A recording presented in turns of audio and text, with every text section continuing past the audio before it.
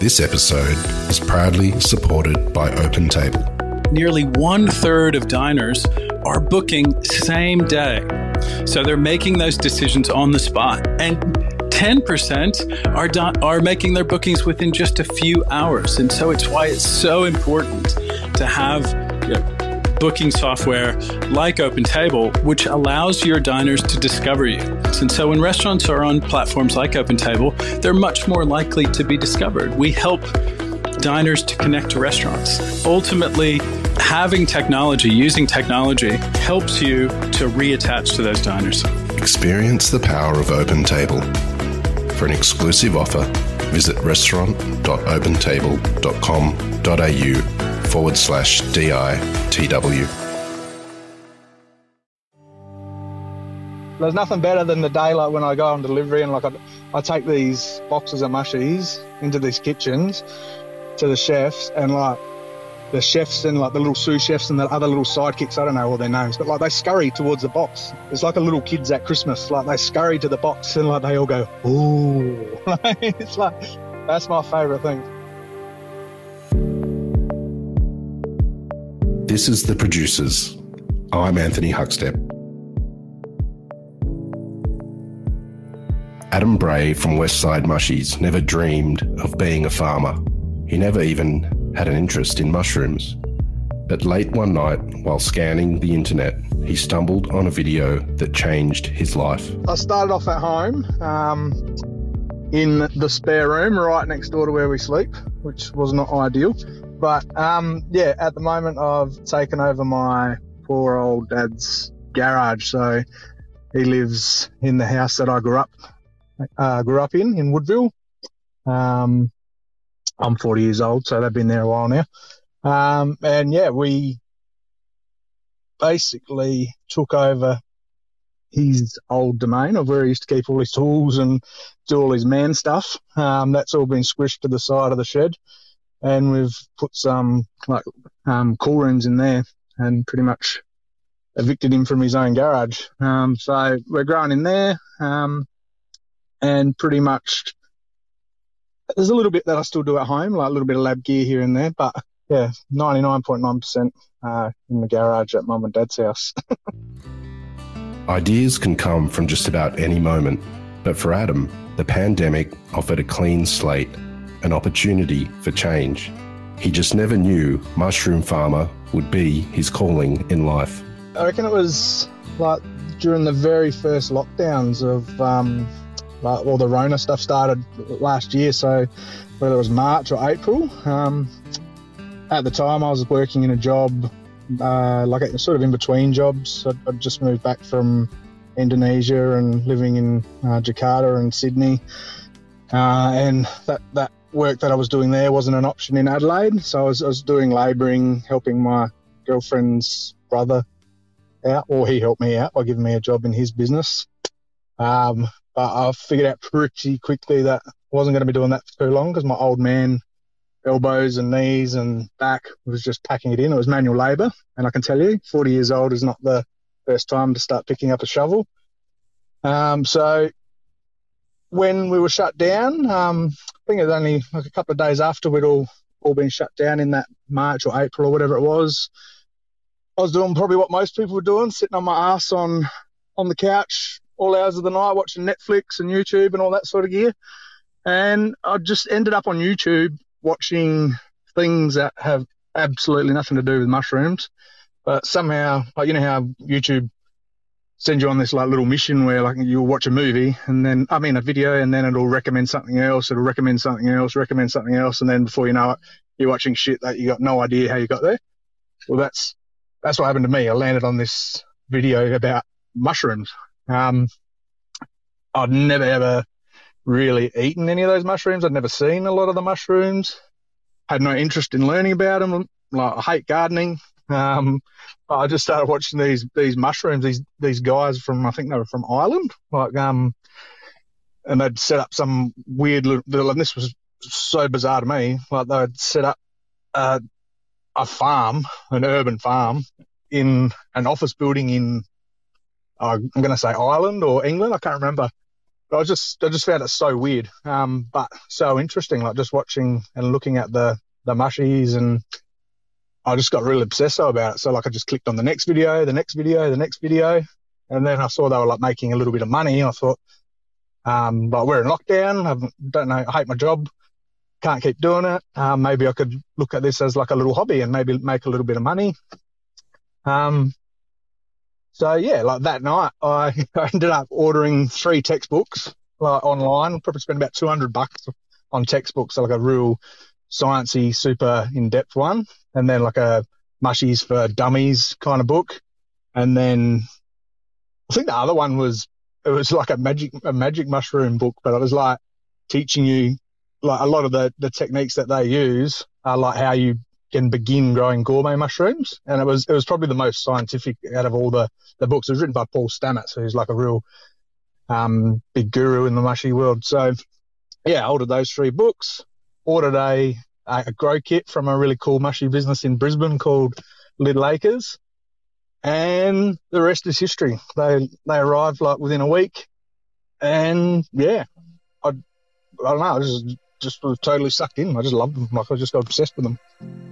At first, growing mushrooms was a hobby, but as Adam's obsession grew, he soon realized the opportunities, and so he set about creating a stable environment for the mushrooms to flourish. Like we ended up deciding to to switch to cool rooms just because when I started my business was like just before the peak of summer, and I didn't realize how much mushrooms hated summer.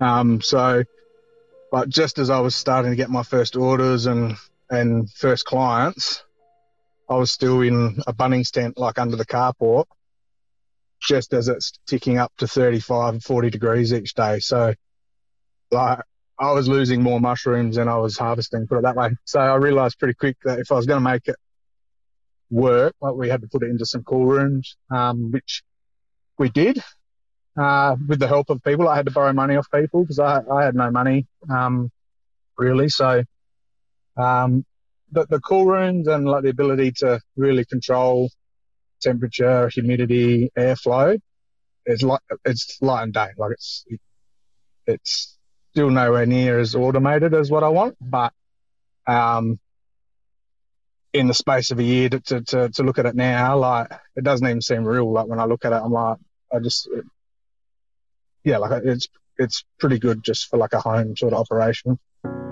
From the outset, Adam threw himself in the deep end, trying to run a business as he was learning about mushrooms. And as he soon discovered, mushrooms are very unpredictable. It seems like every couple of weeks they find a new way to kick you in the nuts. Like you think you've got it under control, or you think you you figure out one thing, and then something else that you've never heard of or you've never seen before happens. So it's just a constant, constant learning. And like a few of the more, far more experienced growers who've been doing it for five, six, seven, eight, nine years, who I've sort of started to make contact with, they don't make you feel any better. Like they, they tell me they still have the same stories. Like, you know, 10 years down the track, constantly getting kicked in the nuts by mushies. um, the, the main challenges, I guess, like because I committed to making it a business like straight away, like I was making it was a business before I even knew. Like the business started, all right. The, the, I was in a business course to learn about business before I'd actually harvested my first mushroom. So um, I remember sitting on this course and they were saying, all right, the most important thing about this is you really need to know your product and your offering inside out. And I'm thinking, oh fuck, I've never like, I've never grown a mushroom. What am I doing here? um, so yeah, the fact that like I committed to it and had customers expecting mushrooms straight away has just mean like there's just no t- time to really um, guess carry out the normal experiments and the normal learnings that you would do before you start a business, like, you know, relaxed environment. Like I've always sort of been under the pump because I've committed to give people things, but I'm still learning on the fly as well. Like, um, that, that's just a constant challenge. Like, I find that really stressful. Like that's probably the hardest thing is like knowing that even if you do the work and you've, you've tried your best and done everything that's worked every other week, but there's still quite often times where I have to ring people up and say, look, I haven't got what you wanted because something's happened that I, I didn't know about or I just I don't understand. So that's been really hard. Adam set about contacting other mushroom growers. He studied textbooks and took notes to monitor the results of his actions, and soon enough, it started to pay dividends. Ah, uh, yeah, it was it was it's just crazy because I just they're just so weird. Like I just look at them and I just they're not they don't look real like that. Just I just remember thinking this is bizarre. I was proud, I was stoked, but I was, just spent so much time looking at them. And I took like a hundred photos of them because I was just thinking, what are they? Like what what are they? I don't understand how how they are what they are.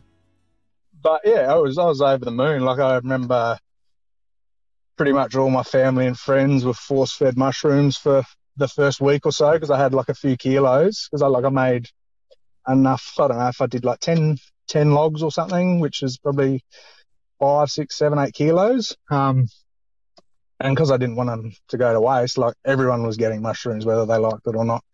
Um, so yeah, I was stoked. I was pretty proud. One one of the first little clusters, uh, it sort of aborted. Like so, as it came out, I, was just watching it like a hawk every day because they grow so quickly. I was like, it was like my little baby. I was like so proud of it. And then it just turned yellow and just stopped growing.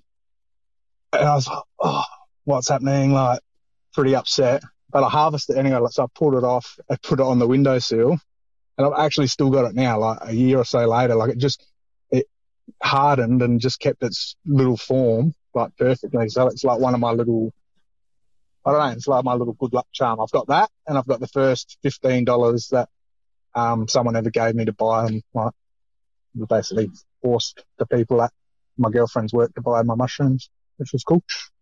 so I've still got that ten and that fiver on the fridge.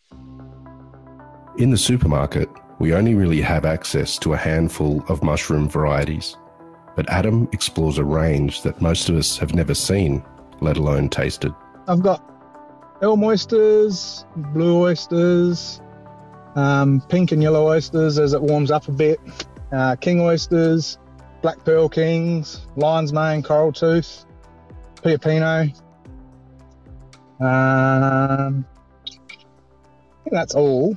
Um, I keep telling myself that because I'm so uh, space poor, like I don't have a lot, a lot of room. Like the smart thing would be to choose your four or five best yielding, your most popular, your easily easiest to get rid of, the ones that you know you can grow well. And I just keep getting sucked into growing all these like other awesome ones because there's so many cool ones. Or I make the mistake like I put a sample of something in a, a chef's mix, and out of all the mushrooms, guaranteed that that sample that I don't want to grow that because I don't have the room, they'll be like, oh yeah, we'll have a couple of kilos of those next week, thanks. That'll be good. Um, so yeah, probably at the moment eight or nine varieties, but ideally, like, until I get more space, I should I should really limit it to four or five. But I just got no discipline to stop growing the other ones because they're too cool. Adam began dropping off samples to chefs, and word of mouth started to spread like wildfire. The first batch that came through, uh, I, I divvied off like a couple little punnets to um, use as samples. So just to basically not door knock, but like just lob at um, local local cafes or local restaurants, pretty much unannounced, and just um, ask to talk to the chef and just introduce myself and drop them off. Um, actual sales, they were like all like sympathy sales, like you know, the making your family buy them off you, and my missus taking them into her work, like you know, they have to buy them. Like, they're not going to say no. So uh, that that was the first actual ones, but like in terms of yeah, like getting into kitchens, like the dropping off the samples was a was a um definite Kickstarter. Um, I don't know that I really got that many sales out of it, but I definitely got got my name out there. Um, but I got a few chefs talking as well, I think, because um, they could see that the the quality was good. Like I perhaps ended up getting calls from other people who I hadn't met, who were mates with the people who didn't need the mushies, but like I'd given them samples. So, you know, like the, the door knocking or like the, the sample drops paid off um, through word of mouth kind of thing. Soon enough, his peculiar mushrooms were getting the attention of the restaurant industry, including some of South Australia's best chefs. It actually does my head in the places that use my mushrooms. Like it's just one of the one of the things that's a bit surreal. Like, um, so we've got Trent um, from 2KW. Um, he's been a really good supporter of mine. He's he uses them up there. Uh, there's uh, Jin Choi, um, executive chef out at Mount Lofty House, Hardy's Verandah, which is a uh, pretty pretty top notch joint. Uh, I think it's got a couple of hats, three hats. I've got more hats than that at home, but they got three hats. That's cool. Um, who else? Uh, oh yeah, Kane. So Kane Pollard, he was, he's been a really, really good supporter of mine. Um, he's probably been a lot more um, patient and forgiving than what any other person would be in the world, like, as I've been getting started. But um, yeah, having having him take me on when well, when the grand opening of Sol Rooftop like happened was when I met him. So like we were on their first menu. That was like one of my second or third customers. So that that was insane. Like that was ridiculous. Like that really helped me because that's when I sort of realised the power of Instagram as well. Um, all the chefs post their stuff, all these restaurants post stuff. So being in there and, and, and people seeing him use my stuff, uh, that was like, it was like a seal of approval. Like it took away anyone's doubt, I think. Um, so yeah, being in there and Topiary, um, his chef that he's got running Topiary, Alex Payne, he's a legend. Uh, we, we talk all the time. Um, he's become a friend. Like he's actually been over to my house, like where we grow the mushrooms, um, where I grew up. Like all the families there, Italian families, they still make salamis and and do the pigs and make wine and stuff. He's been there and met all my friends.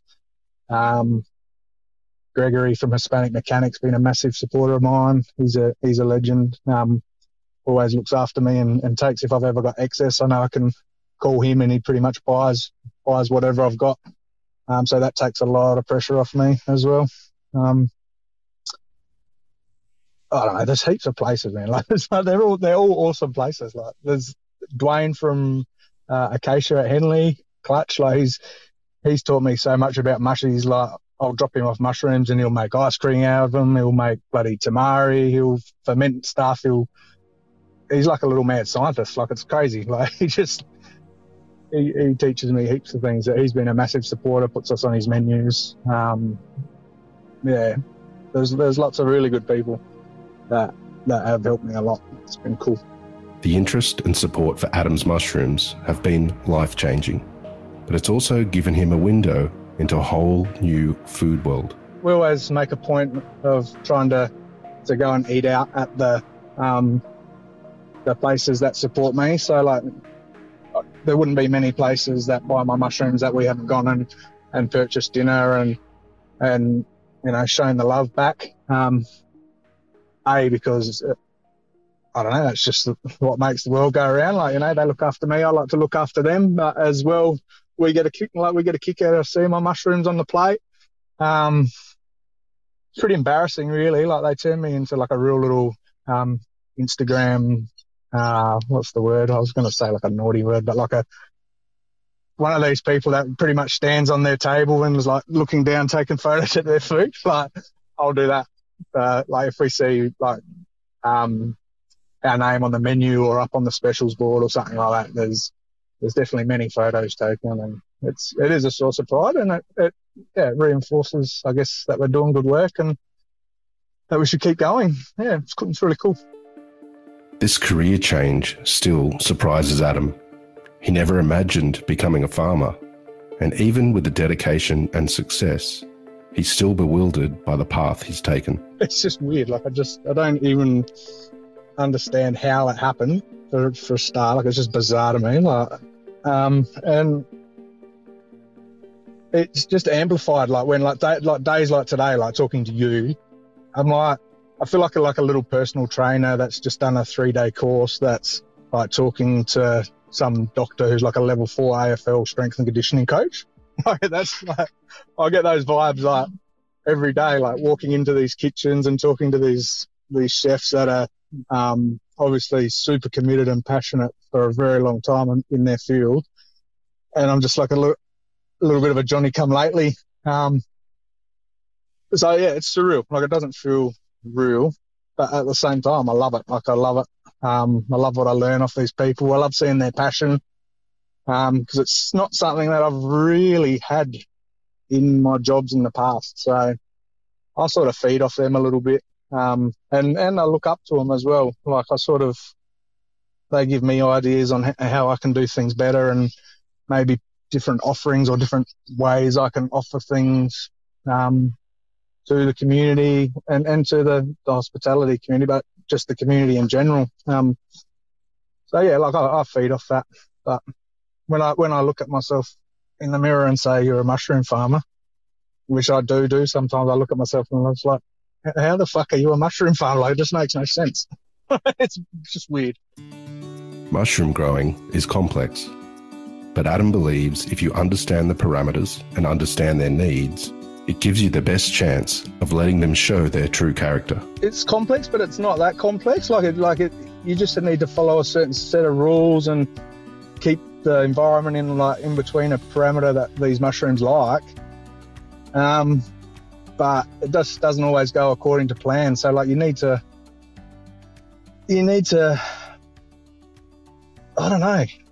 I actually don't know. You, you really need to just constantly be on your toes and not take anything for granted. Um, but then when, when, the good ones do come along, like you need to really treat them um, with care, like after the harvest. So like one of the things I pride myself on um, which I don't know if it separates me from anyone or, or whatever, but one of the rules that I set for myself, like I, it's very rare that a chef will get a mushroom like in his kitchen that's been in a fridge like from the day before.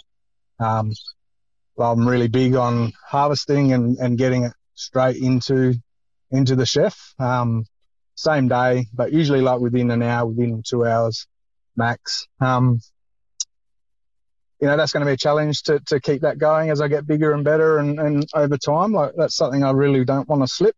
Um, because there are a lot of people out there that can grow good mushrooms. Um, and there's definitely people out there that do grow really, really good mushrooms, like people who are a lot smarter and a lot more experienced than me, that's for sure. Um, but yeah, like the, the, the service and the, the, the time which I like between harvest and getting it to the kitchen, like that's, that's probably what I pride myself on the most. This whole endeavour has reinforced his belief in his hometown and his home state, especially when it comes to produce and wine. I've always been a really, um, really staunch like SA, great sort of Adelaide's the best kind of thing. Um, but since I've been involved in the mushrooms, like they've they've really solidified that for me even more. Like um, just by uh, you know as part of the business you know you do market research you, you suss out the chefs that are out there the cafes the restaurants and you've got to sort of know the, the battleground. So like um, really paying attention to all that and learning more about that. Just it's just amazing how many good places there are here. Um, like amazing chefs talented chefs produce um, locations the wine like, so I think it's made me love where I live even more and made me really appreciate the talent that, that we have here.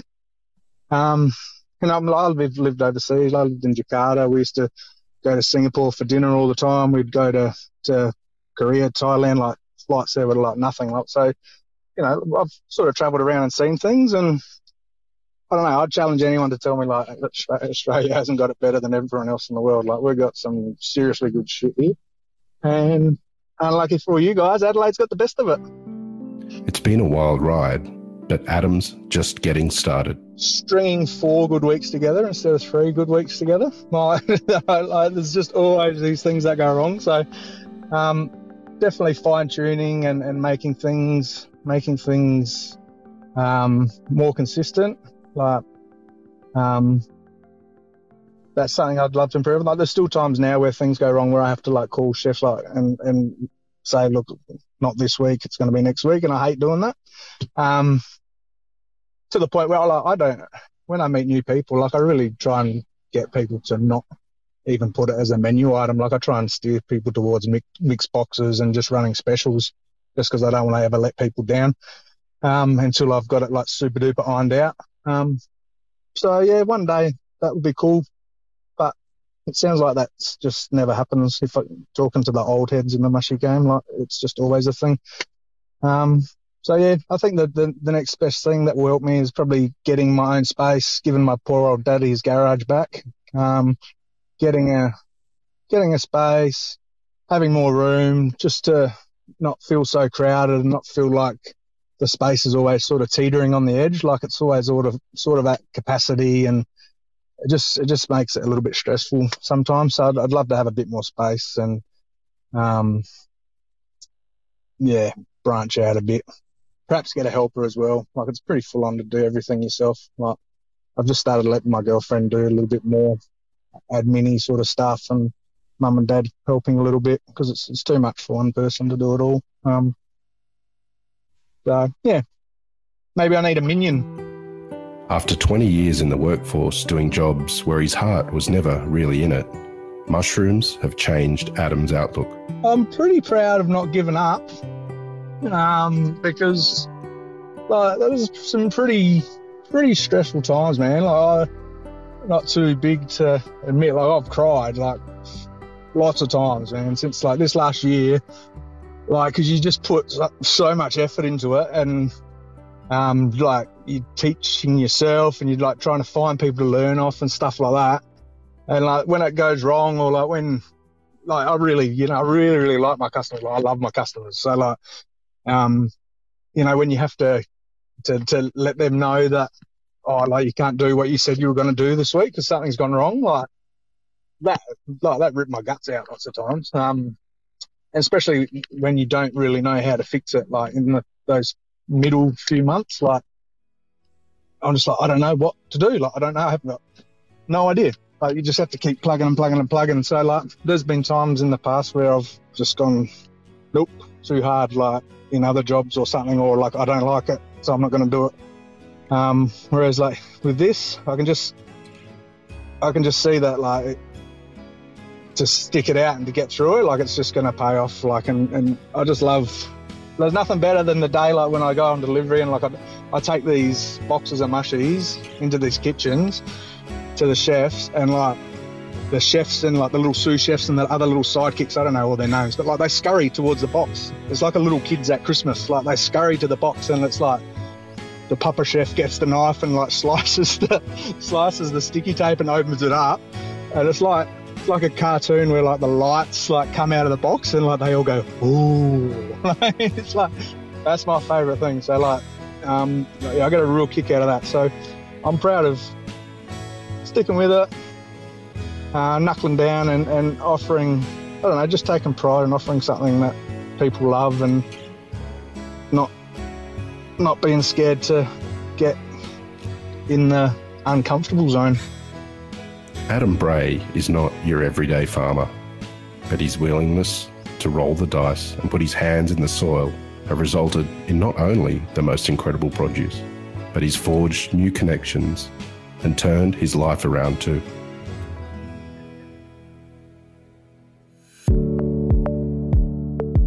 This is The Producers, a Deep in the Weeds production. I'm Anthony Huckstep.